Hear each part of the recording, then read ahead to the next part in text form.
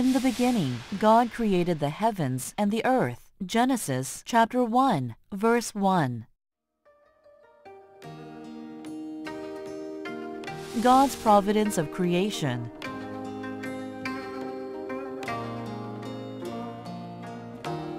An amazing message of life about human salvation. The origin of the earth and the universe. Dr. Jae-Rock Lee's lecture on Genesis will address interesting subjects such as the providence of human creation, the great flood of Noah, the pyramid, the black hole, etc.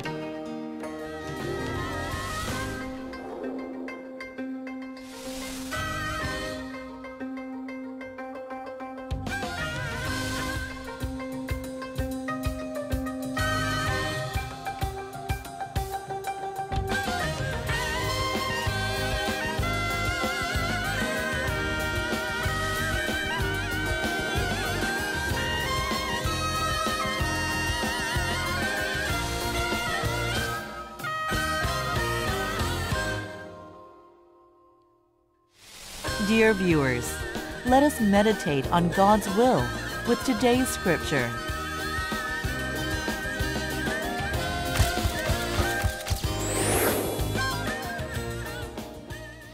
Dear brothers and sisters in Christ, and GCN and Manmin TV viewers, from today I'm starting the lecture on the book of Genesis.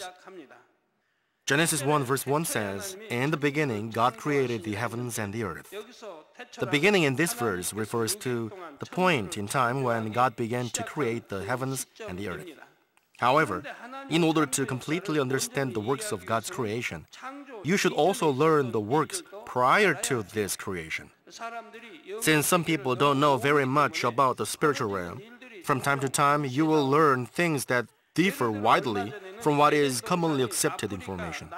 For example, there is a research that says the Garden of Eden is located somewhere in southwestern Africa. People once said the Garden of Eden was in the Middle East, and now they say it is located in Africa. In addition, there is a wide diversity of opinion over the identity of UFOs that are observed in many parts of the world. Some people believe that aliens from highly advanced planets are piloting the UFOs, and some fear that the aliens may attack human beings.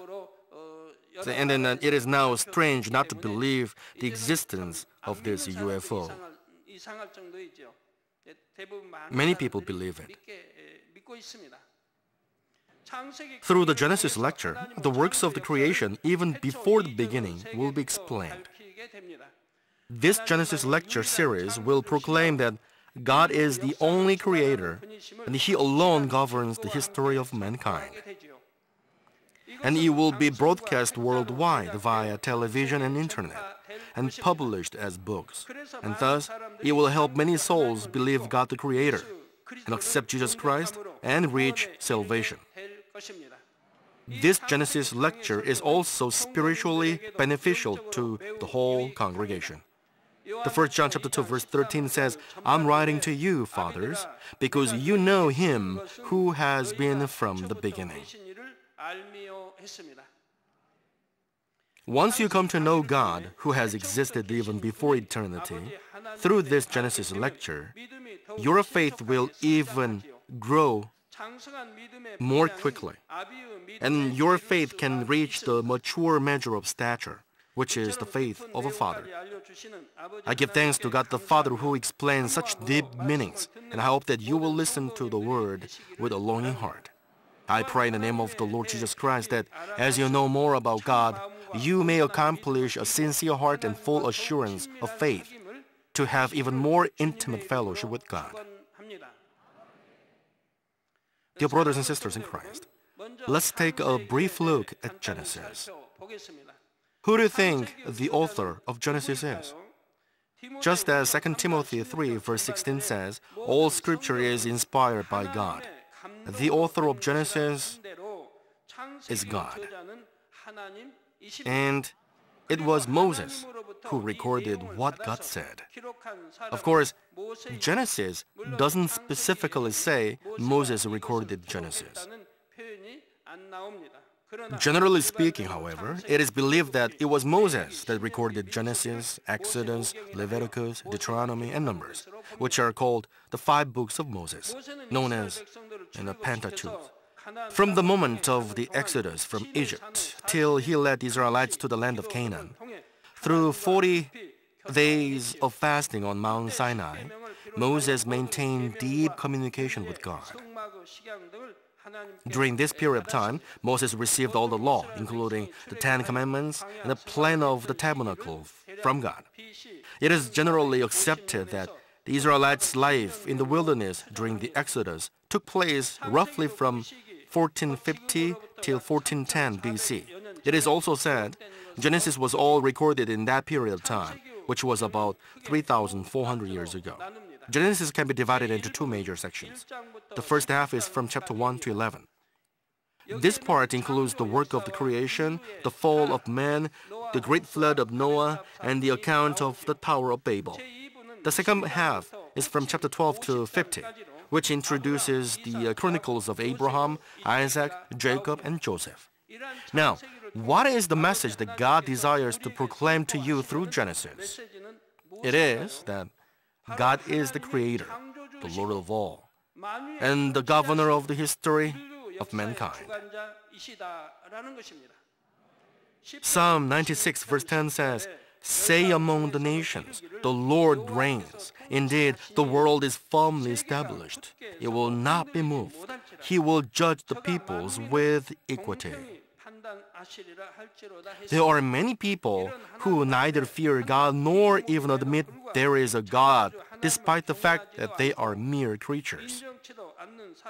Romans chapter 1 verse 21 to 23 says, For even though they knew God, they did not honor him as God or give thanks, but they became futile in their speculations, and their foolish heart was darkened professing to be wise. They became fools and exchanged the glory of the incorruptible God for an image in the form of corruptible man and of birds and four-footed animals and crawling creatures.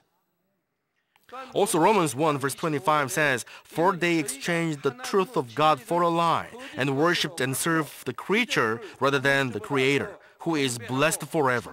Amen. The duty of man is to stand in awe and reverent respect for God the Creator and to live by the will of God. Men are happiest when they live like that and they can actually acquire eternal life. However, as the end time draws nearer and nearer, you can see man's ideas and theories are raised to stand in opposition to God. God is the only creator and he lives and works the same yesterday and today and forever. There are many evidences that can prove God is the creator. Romans chapter 1 verse 20 says, For since the creation of the world, his invisible attributes, his eternal power and divine nature have been clearly seen, being understood through what has been made, so that they are without excuse. As you may understand and know while listening to this Genesis lecture, God's eternal power and divine nature are clearly seen through what He made, and thus, and the people cannot make an excuse on the judgment day. They cannot make an excuse. Those who are of goodness in heart can acknowledge the existence of God just by looking at the things in nature and in doing so, they live their lives in the reverent fear of God. However, God doesn't forsake even those who have no goodness in their hearts and who deny God by you know, in enveloping themselves in worldly knowledge and theory. Before their eyes, God presents the countless things that can never be accomplished by man, but are only possible by the power of God. God causes them to believe God the Creator just by witnessing such works. God is working without taking rest, even today, in order to lead as many souls as He can to believe and to reach salvation. Therefore, we should fervently show and spread the evidences of the living God, the Creator, to the many souls of the whole world. We should allow more of them to know God the Creator and fear God. I hope that you too will be able to gain stronger faith, fear God from the depths of your heart, and love God evermore greatly through this Genesis lecture series. I pray in the name of the Lord Jesus Christ that you may become proper according to the purpose of God's creation of mankind. Dear brothers and sisters in Christ, in order to completely understand the works of the creation, you should learn the things that took place even before the beginning. Therefore, for a numbers of lectures, I'm going to explain these works that took place prior to the creation, the beginning, in other words. The Bible doesn't record in detail the things prior to the creation, but that does not mean there were none. It is just that Though they read, people don't understand. To know God who had existed even before the beginning, I offered many fastings and prayers to God. And then God began to explain Genesis to me in the 1980s. But I didn't deliver it because it was too deep and too difficult to understand. And by that time, in addition, you know, I didn't have proper recording system to make a record of the Word of God. And the one recorder that I had lasted only for 15 minutes. And since it was difficult to make a record of the Word of God, you know, it was also difficult to remember what God said. Then later, you know, I had to hang on to God to give me the Word again and again. So the situation was like that. You know, when I couldn't remember the Word of God, I had to ask God you know, clinging and hanging. The reason I could deliver it was that God began to explosively show the power of creation. There was more than enough to show evidence that verifies the word. God has spoken, and I delivered the word. But if Manmin members don't understand it, who can understand it? God the Father has shown explosive works of God's power and signs and wonders. And so you have seen them and experienced them. Then, as you listen to the Word of God, you can say Amen to it and believe whatever you listen. Moreover, it is now even easier to explain the spiritual realm since you have experienced and understood the spiritual space. However, this may be difficult to believe for those who have weak faith. Therefore, please be careful when you convey the deep spiritual word that you hear through this lecture. It is similar to giving children food that is easy to digest. Otherwise, they may not be able to digest the food. It is the same with spiritual realm. The 1 Corinthians 3 verse 1 and 2 says, And I, brethren, could not speak to you as to spiritual men, but as to men of flesh, as to infants in Christ. I gave you milk to drink, not solid food, for you are not yet able to receive it. Indeed, even now you are not yet able. It is better to plant the word, such as the message of the cross and the measure of faith, into the heart of those who have the faith of children. And you should also help them grow their faith first through the evidences of the living God. If you feed them with the deep spiritual word that is difficult for them to deal with, it may, in fact, cause harm to them. Dear brothers and sisters, the beginning mentioned in Genesis 1, verse 1, is the time point when God began the creation. However, John chapter 1, verse 1 also mentions the beginning. It reads, In the beginning was the Word, and the Word was with God, and the Word was God. The 66 books of the Bible is the same. Okay? The 66 books of the Bible are the same. They are all Word of God. The beginning of John verse 1 is significantly prior to the beginning of Genesis 1 verse 1. It is a point in time even much, much before the creation. It indicates a time that human beings cannot comprehend. Well, from before eternity till after eternity. Well, you may understand this concept only after you go to the heavenly kingdom. Uh, you may not be able to understand it now. Even if I explain it to you, you may not understand it. God has existed alone from the time of the beginning, even before the time of the creation. In Exodus chapter 3 verse 14, God introduces himself to Moses by saying, I am who I am. God himself is perfect and complete. No one gave birth to God, but he has existed all by himself. Then, what did the God, I mean, who has existed even before the eternity, look like? What did the God look like?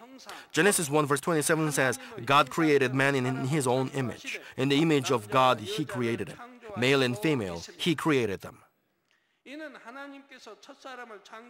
It says, God created the first man in the image of God himself. Therefore, we can see that God had the appearance of a man when he created man. Then, did he exist with the look of a man from the beginning? Did he exist with the look of a man from the beginning? Really? No. As I may explain in greater detail later, God didn't originally have the appearance of a man.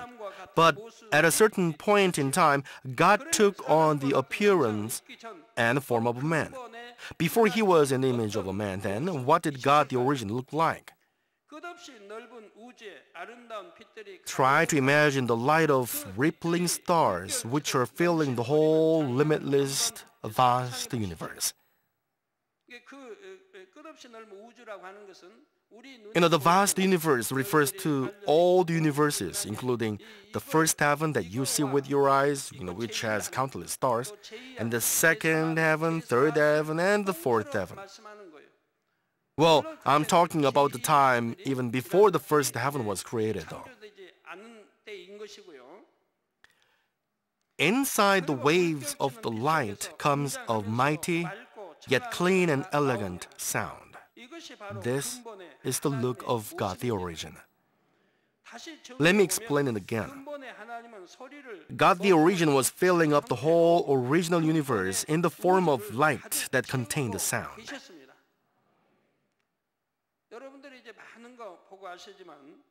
You have seen many things and you have known many things.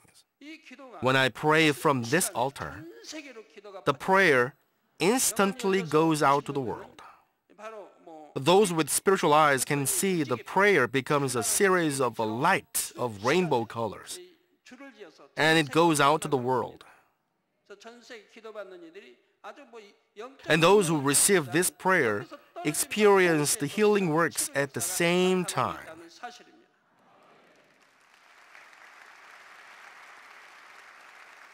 How can a man imagine such almighty power of God? But you have seen it and experienced it, haven't you?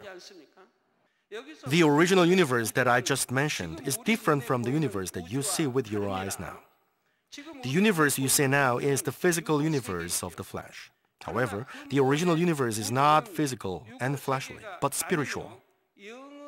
When God the origin existed alone, there was only a spiritual realm. There was no need for a fleshly world. I will attempt to now explain when the physical universe that we see now came to exist. Dear brothers and sisters, I told you that God the origin consists of mainly the light and the sound. Let's take a look at the original light. The original light doesn't have form or structure. It is rather like a flowing and rolling swell manifested like a rippling wave as it moves. The rippling wave of light flows through the entire universe. The original light is brilliant white, containing all the colors of the rainbow with indescribable brilliance, beauty, and radiance. Say, you put all kinds of different jewels in one place and shine a strong light at them. Then, various colors of lights will be reflected from the jewels. Such lights don't have a certain form, but it appears that the light will ripple like a moving wave. Among the things that exist on this earth, the most similar to the original light is the aurora. The aurora, sometimes called the northern and southern polar lights, are natural light phenomena usually observed in the sky of the polar regions. Now you can see on the screen. Auroras are produced by the collision of charged particles from Earth's magnetosphere.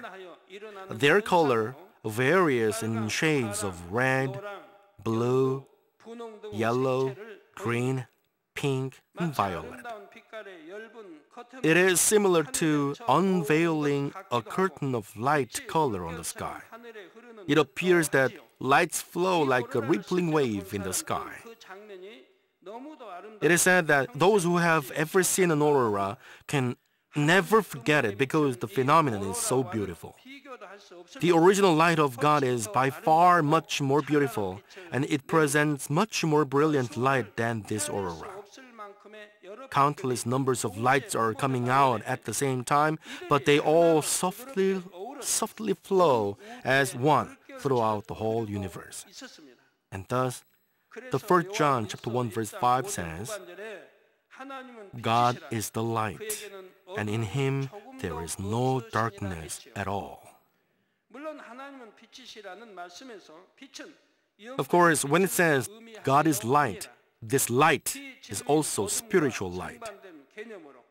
It is opposite to the darkness, which is untruth. The truth, goodness, and love correspond to this spiritual light. God Himself is this spiritual light, and at the same time, His original appearance itself was the light. And God the origin kept the sound in that light. How can the sound be kept in the light? Have you ever heard a sound that travels together with the wind? The wind from the sea conveys the sound of the waves afar. The wind from a forest sometimes contains the sound of rustling leaves or trees swinging and bumping into each other. Well, imagine yourself in the winter field, snowy blizzard blowing against you. What would you hear? What would you hear? Just as the sound is conveyed in the wind, God the origin kept the sound in the light.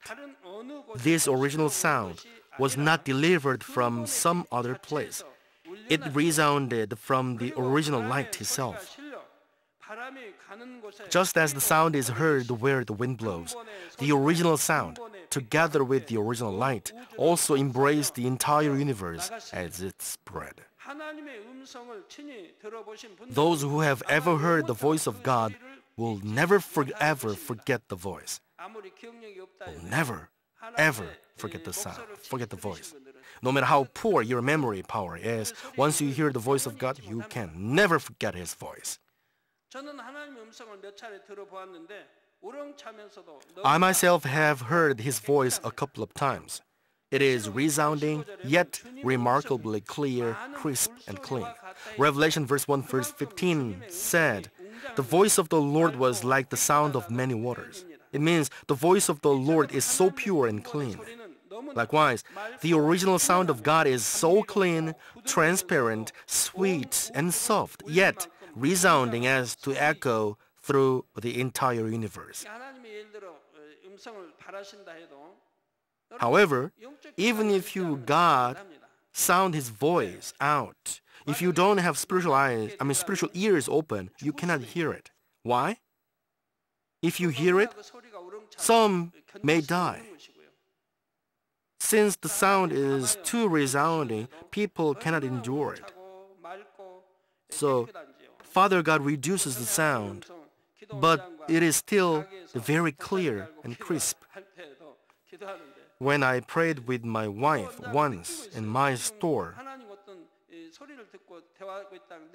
when I heard the voice of God, my wife felt it. My wife felt that I and the Father God had a conversation, but she couldn't hear it. I myself, I was the only one who could hear it.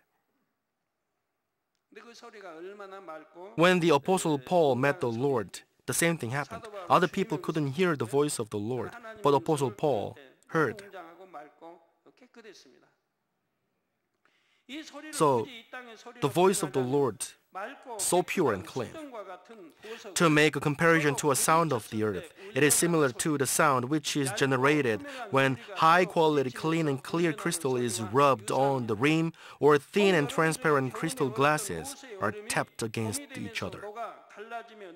Has anyone ever heard the cracking sound of ice of a lake that starts to melt in spring? The sound is resounding yet pure and clean. Have you ever heard that story? I mean, the sound, you know, cracking sound.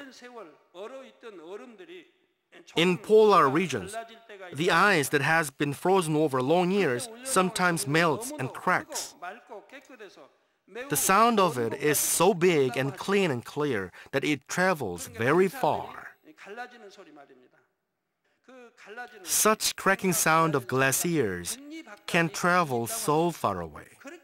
It may travel, you know, 50 kilometers away. It is such a clean and big sound.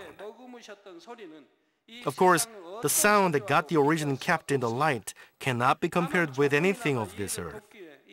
I just compared it to the sound of the earth to help you understand better. Now, this sound is the word as mentioned in John 1 verse 1. It says, in the beginning was the Word, and the Word was with God, and the Word was God. The word in the beginning is actually referring to the original sound that sounds in the original light. The Bible describes God as the Word rather than the sound, since the essence of the sound is the Word. If the Word is the contents, God is the name of it. Now, which one is the core? The name God or the Word? What? That's right. It is the Word. So the Word is God. Well, Pastor Sujin Lee is there. The name Sujin Lee and her spirit, soul, and body. Which one is the core? Yes, that's right. It is her spirit, soul, and body.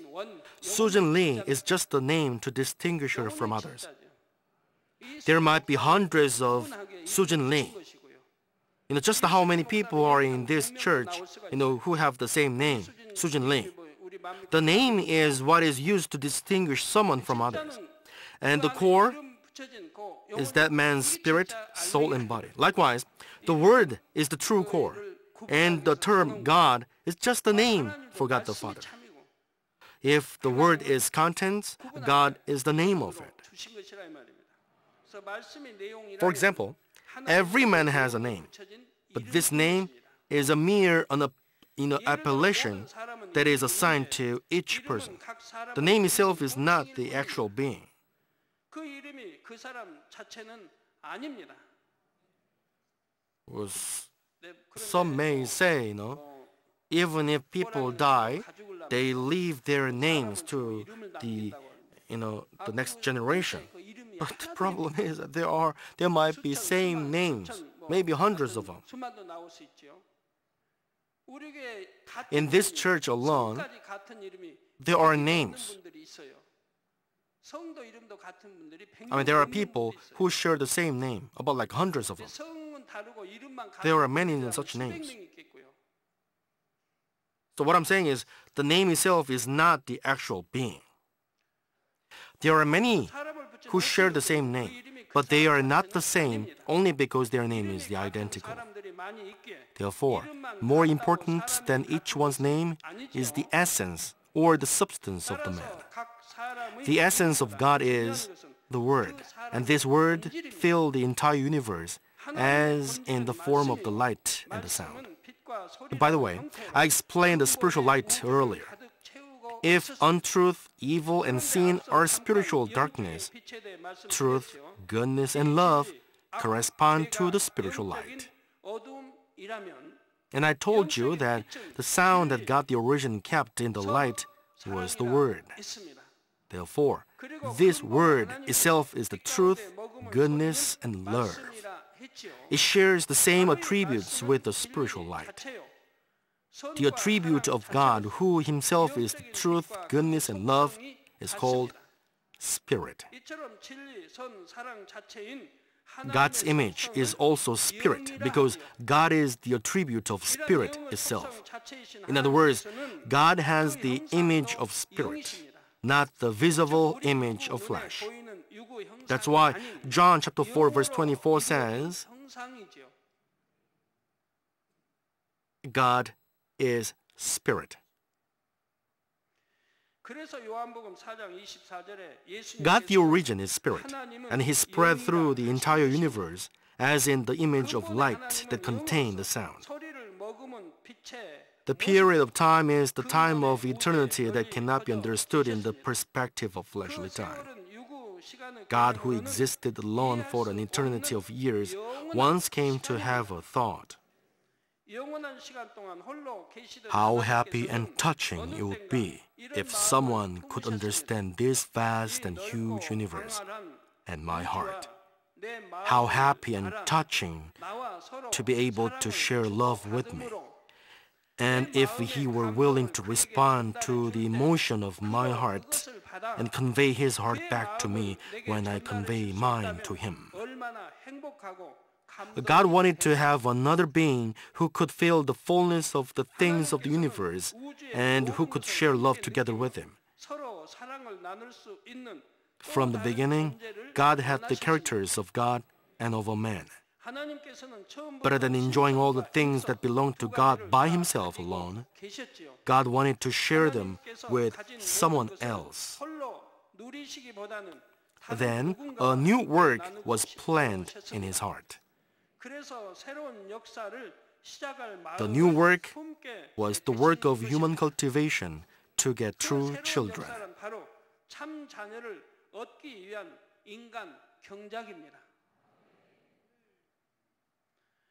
And it was also the creation of the heavens and the earth that would become the grounds for human cultivation. Then what was the first work that God did?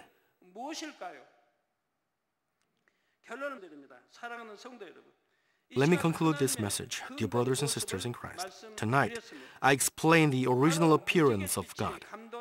I explained that God was filling the whole universe in the beautiful light of rainbow colors and in the form of the sound that contains the Word. What did I tell you was the reason why God, who existed alone like this, planned for the creation? I said it is to gain a being with which he could share his love. God began the history of human cultivation in order to get love and to give love. However, before he ever received love, he first gave limitless love. All the works of the creation were achieved one by one in his love. A mother who is pregnant with her child tries to prepare the best for her baby. Before the baby is born, she prepares many things for the baby, such as toys, cradles, diapers, and something like that. Everything. She tries to prepare everything for her baby. In the same way, in order to get true children that he can share his love with, God accomplished the works of the creation with his amazing wisdom and power. I hope that you will remember this heart of God. May you love God all the more from the innermost heart and present such emotion and happiness before God. In the name of the Lord Jesus Christ, I pray.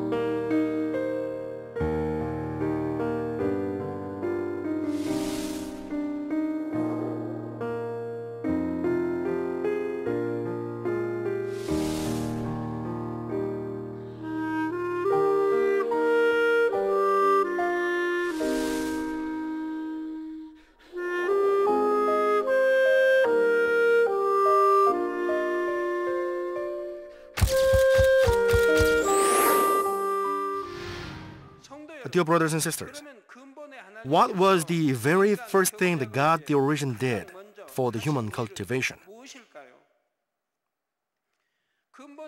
He formed the sound containing light that spread throughout the whole uni original universe to cohere and came to have a certain form as light. To cohere means to gather together to form a united whole. Let me repeat it. To cohere is to gather together to form a united whole. To, I mean, the place where the original light that contained the original sound cohered is the vertex of the spiritual realm. By the way, the original sound initially sounded at this vertex of the spiritual realm, and this sound spread out. The original sound that sounded from the vertex of the spiritual realm permeated the original light and then spread to the whole original universe. But now, God made it cohere at the vertex of the spiritual realm and it became a certain form of light. Of course, in this cohering light was the Word, the essence of God, which is the sound. Once God, the origin, cohered into light, he divided himself into three different lights. They were God the Holy Father, God the Holy Son, and God the Holy Spirit, which is God the Trinity. Well, I will come back to this in the next lecture. At the same time, when God the origin cohered into a light, heavens of different dimensions were made.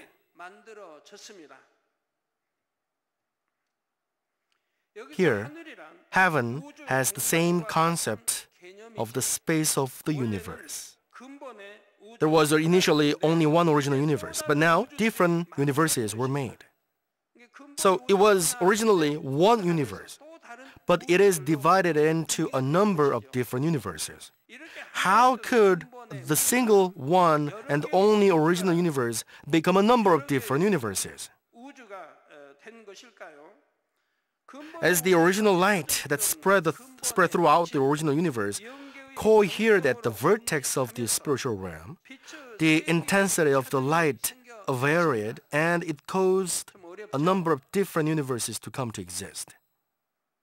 Is it difficult? I mean, are you with me? Well, understanding is not enough. You should have make bread out of it.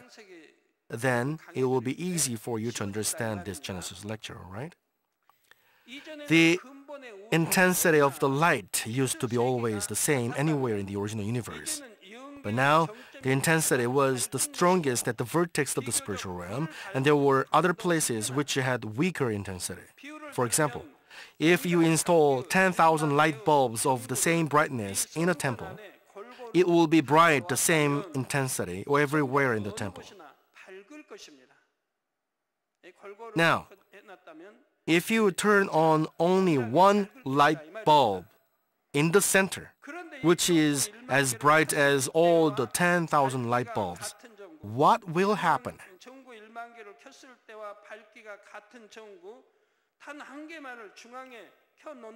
Now, I mean, are you with me? Can you imagine it now? Are you? I mean, can you? The closer to the bulb, the brighter it will be. But the farther, the dimmer. Can you get it? With 10,000 light bulbs evenly installed in the temple, the brightness is the same any place in the temple. But if you put only one light bulb, which is as bright as 10,000 light bulbs, in the center of the temple only, it will be bright in the center. But it is not so in the corner.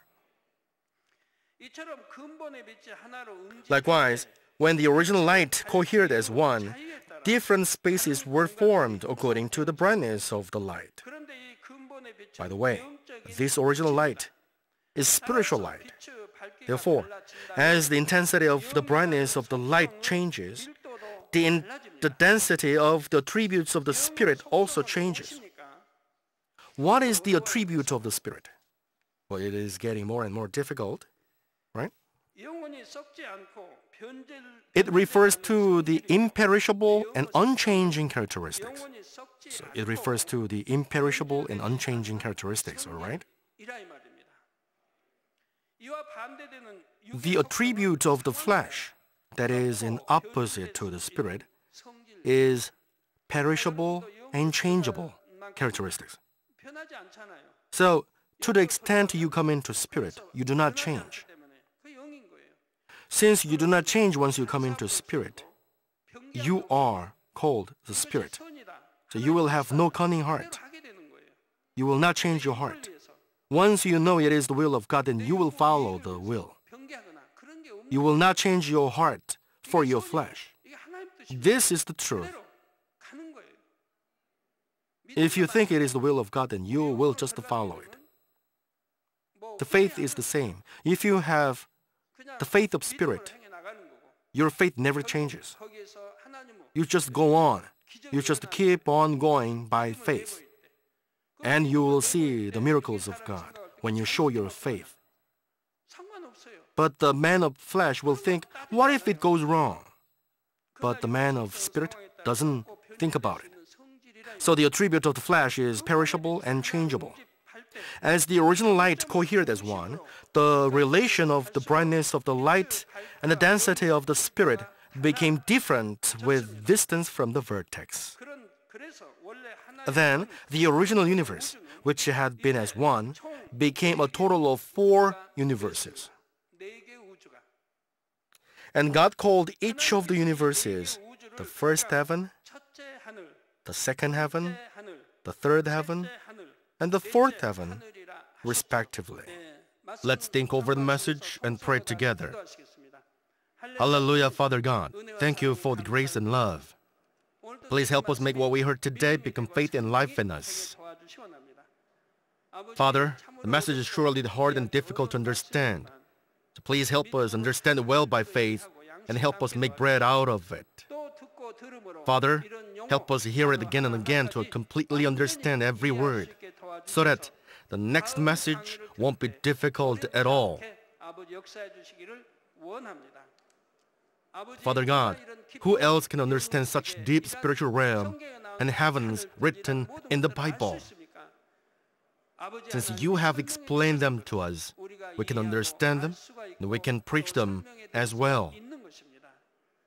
Bless the congregation and those who listen to this lecture through the internet, through GCN and Manmin TV, and bless them to receive great grace and faith, and let this message become faith and life in them.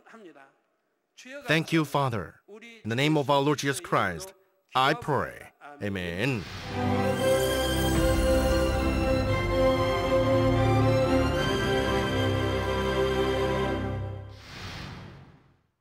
Hallelujah.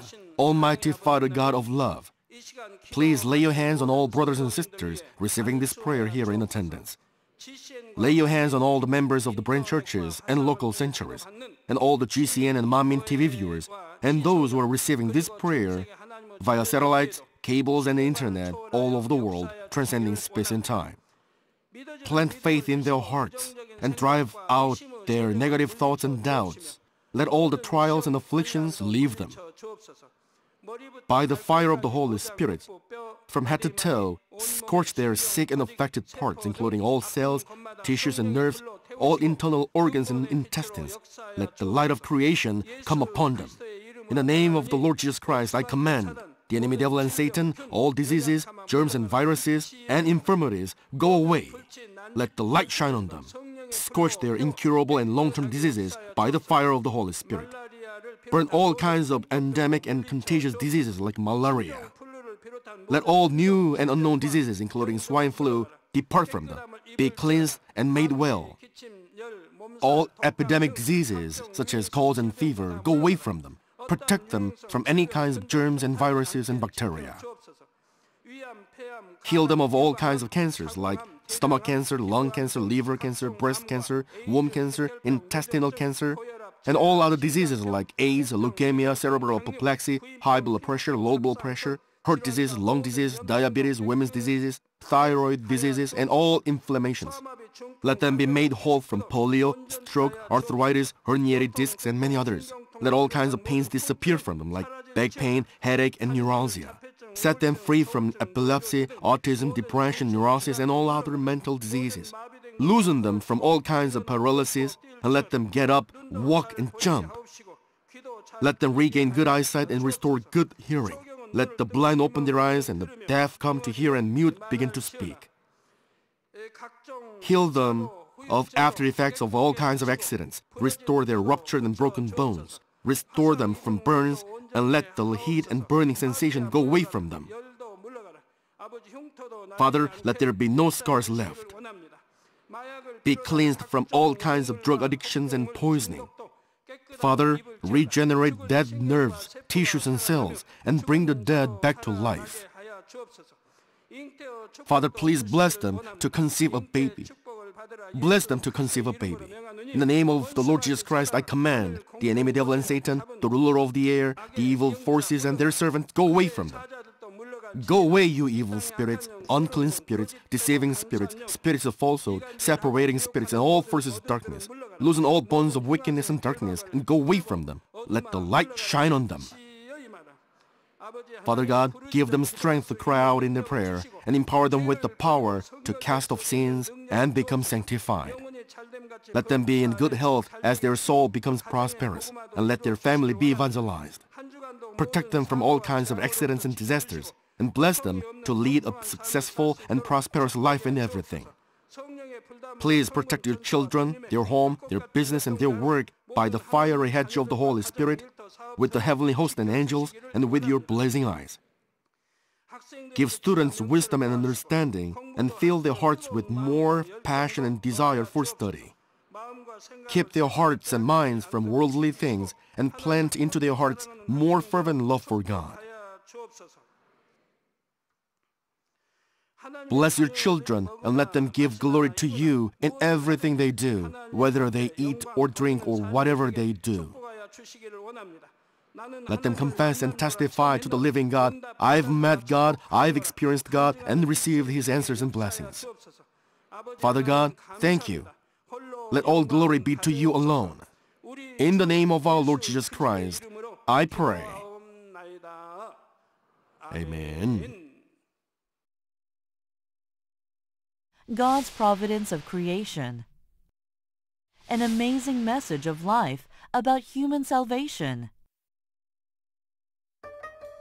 We should fervently spread the evidences of the living God, the Creator.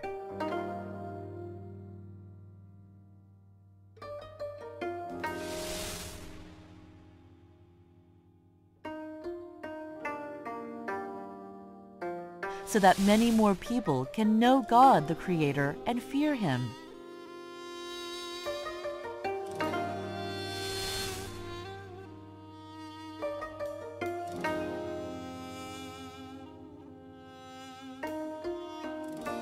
Dear viewers, let us meditate on God's will with today's scripture.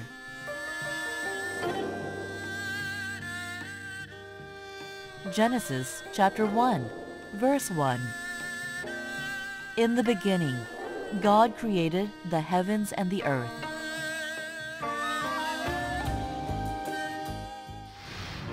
Dear brothers and sisters in Christ, first of all, let me briefly explain about the book of Genesis.